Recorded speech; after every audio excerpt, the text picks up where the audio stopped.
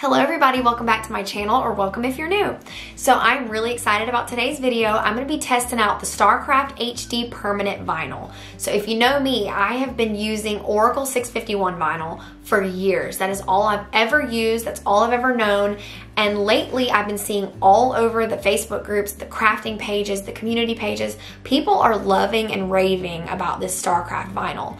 Some people are even switching from Oracal to the StarCraft. So, you know, when something like that goes on, you gotta test it out. So that's what I'm gonna be doing today. Um, I'm gonna be making this kid's 12 ounce tumbler and I'm gonna be doing a multicolor decal. So multiple layers. I'm gonna be letting you know how this vinyl looks, how it feels, how does it cut, how does it weed, does it apply well to your surface. I will be completely honest with y'all and I will let you know how it goes so I've also always used gloss vinyl and I got two packs of this StarCraft vinyl. I have gloss and matte. And when I saw the matte, I fell in love. It is just so gorgeous and so pretty. It just has a different look and feel than the gloss. So I'm gonna be testing it out today too. We will see how it looks and how it goes and who knows, I might be changing some things in my shop. We will find out. So let's go ahead and get on into this video and I will share with y'all what decal we're making today and let you see the colors.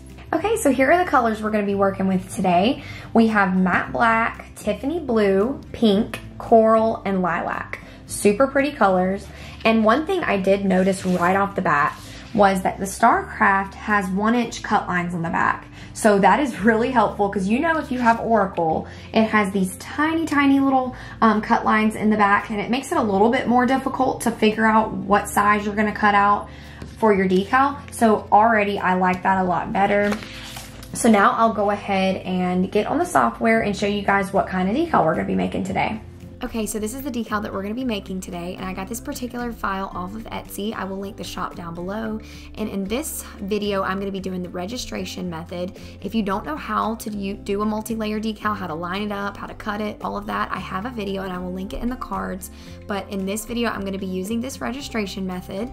So all we have to do now is line it up on the mat where we want, and we're gonna get to cutting.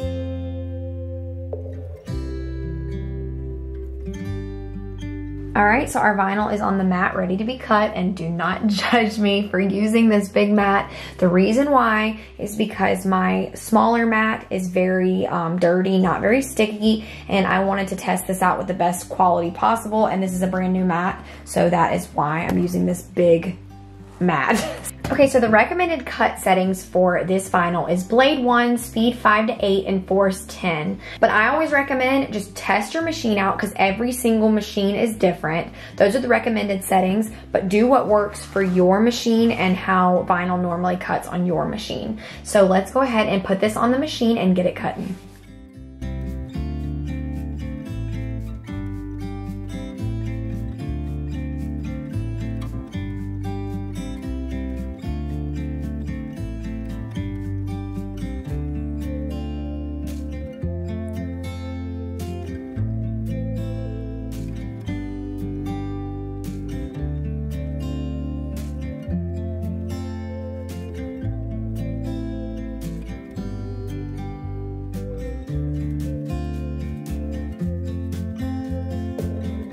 The vinyl just got off the machine and now I'm gonna take the vinyl off and we're gonna weed it. So sometimes when these mats are brand new, it um, is a little hard to take them off the mat. So I usually like to put it, uh, my mat upside down and weed backward, or take it off backwards.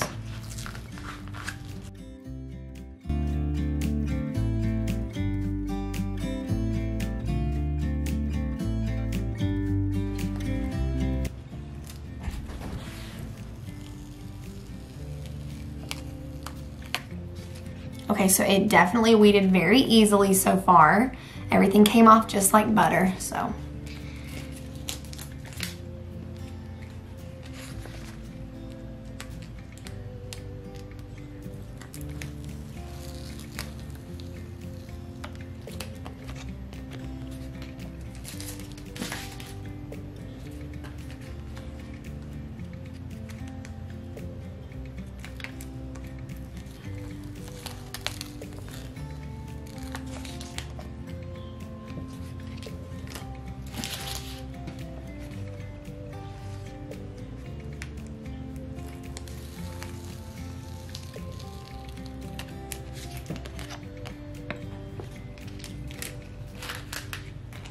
Okay, so the black is a little bit more detailed, so let's see how this weeds.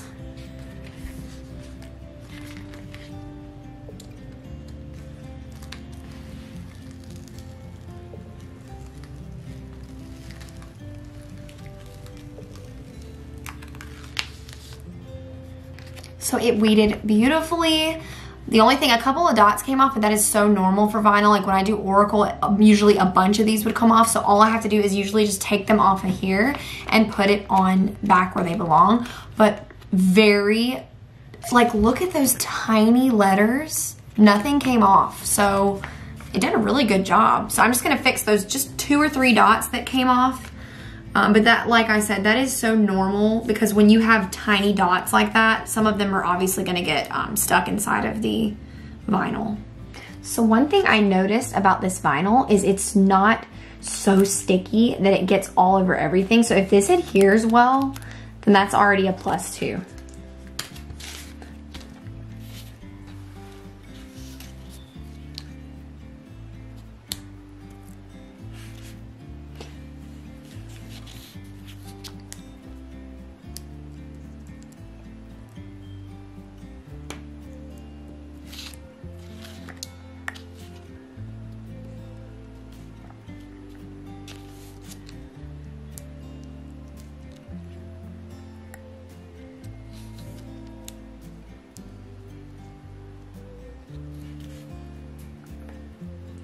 Look how detailed it did for the Be Kind. I mean, that is just, it didn't even struggle with that at all. So super good with weeding. Weeding got an A plus in my book. So now we're going to do our multi-layer with our transfer tape and I use R-Tape Clear Choice AT65, the best transfer tape out there. Okay, so I'm gonna let black be my first layer. So I'm gonna put my transfer tape down here.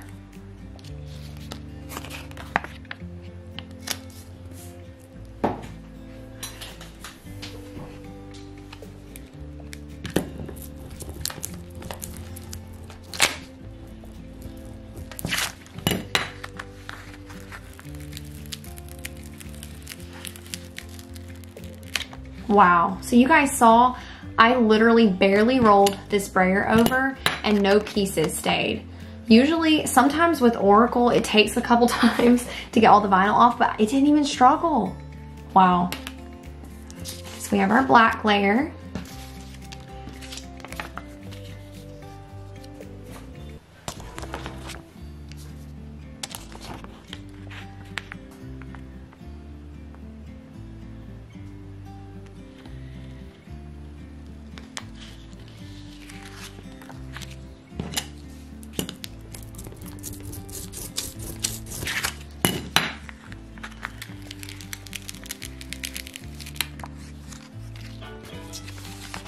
Pink layers on.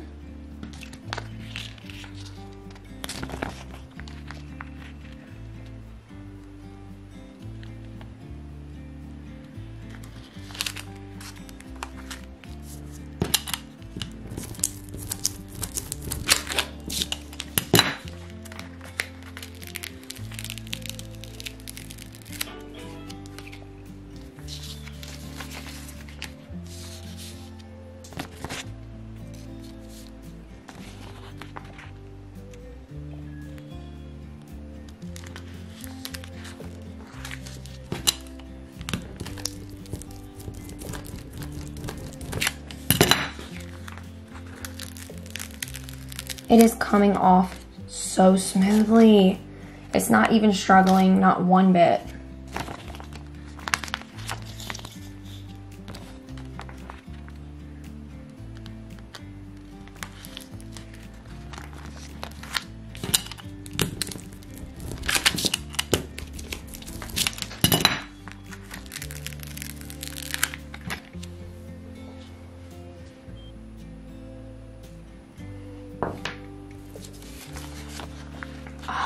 Love it.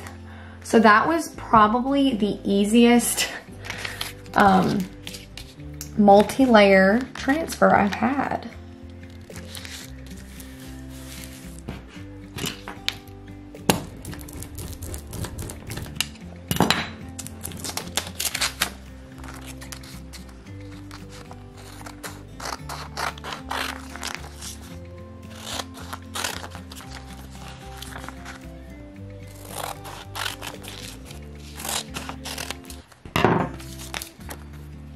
Wow. That was probably the easiest multi-layer transfer I have had. I'm super impressed. So weeding yet again, got a 10 out of 10. Wow, so that was probably the easiest, um, wow, so that was probably the easiest multi-layer transfer I have done yet. Um, everything, nothing struggled. None of the tiny pieces, nothing. Everything went on like butter. So, um, wow, really good. 10 out of 10 for the layering and applying on the transfer tape. So now let is, let's put it on our cup and see how it transfers to a surface. Okay, so I'm just gonna be using 70% alcohol, rubbing alcohol, you can get it anywhere. And I'm cleaning my cup off and make sure it's fully dry before you apply your decal to it. The reason you apply alcohol to surfaces like that, it gets any dust, debris, anything like that off. And it's just something about the alcohol. It just kind of helps things stick better and just gives it that clean surface you need to apply vinyl. Okay, so the cup is dry and now we're gonna put the decal on it. And um, I just always go over that one more time just in case. So if you wanna get technical with applying to tumblers, you can put water in it halfway, figure out where the halfway point is. But I kind of just like to eyeball it, so that's what I'm gonna do. So take your decal, let's see how well it all transferred together. It did perfect.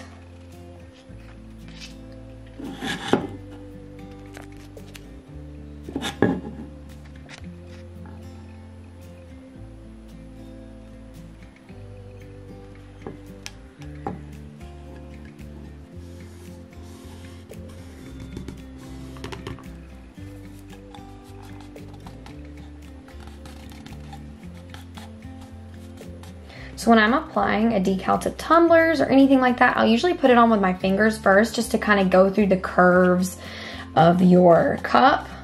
And then I will take my squeegee and kind of just go over again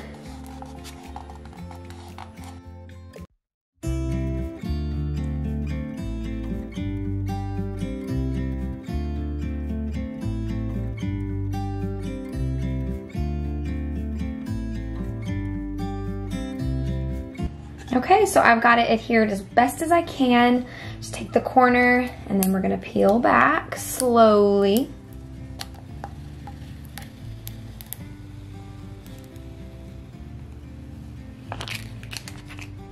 Oh my gosh.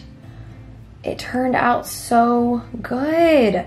Y'all, there is no bubbles, none. You see that? I love the mat too. It's so pretty.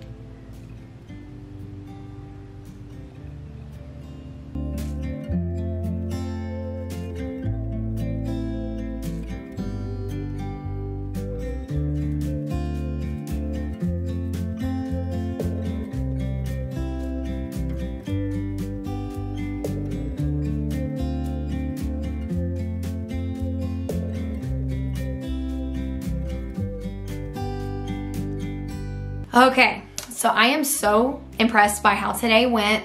You know, normally when you're testing a new product out, you are kind of feeling it out, seeing how your cut settings work with the new vinyl, and usually you have to adjust some things, but with today, I had to adjust nothing. I used my exact cut settings that I do with my Oracal, and it cut perfectly. I loved the look of the vinyl. I loved the back having the higher or the bigger grid lines. That was a huge plus in my book. Because the reason I bought my paper cutter was because, you know, Oracal's grid lines are a little bit more complicated and nobody got time for that. so that was a plus. It cut amazing. It weeded incredibly. It um, applied to the transfer tape really well, which is the AT65. It barely required any rolling with my brayer. It just came off easily. And then it applied to the cup flawlessly. It had zero bubbles. I mean, zero bubbles, which is crazy because with Oracal, I always, I don't know about you guys, but I always at least have one bubble usually that I have to work out. That's just kind of the stick and how, um, that's just kind of how it's always been. And with this, no bubbles, which is incredible. So I have nothing negative to say about it. It was great. The only thing now I'm gonna test out is just seeing how it holds up. I'm gonna wash it like normal and don't use um, vinyl in the dishwasher, just in case you didn't know, you hand wash only. So I'm gonna take care of it just like I take care of any of my other vinyl cups. And I will update you guys on how it holds up. But so far, so good. It is on that cup. It is on very strong and there are zero bubbles, which is so impressive in my book. And I know this sounds like a sales pitch, but I'm not trying to sell you anything. Like I genuinely wanted to see the comparison between Oracal and StarCraft. And so far I can see kind of what people are raving about that it, nothing negative to say. I really don't. Okay, so I went on the website of Oracal and StarCraft. I'm gonna give you a couple of comparisons between the two, um, and a lot of them are similar. So the StarCraft has a durability of five to six year outdoor. The Oracal also has a durability of six year outdoor. Um, the StarCraft has the larger grid lines on the back, which is one inch, and the Oracal has smaller grid lines on the back, which is around half an inch each. Um, the StarCraft has a two-year storage life, so this is before you cut it or anything that it can stay in your house for two years under normal storage conditions, so keeping it out of hot, like hot and cold temperatures, things like that. Oracal also has a two-year shelf life.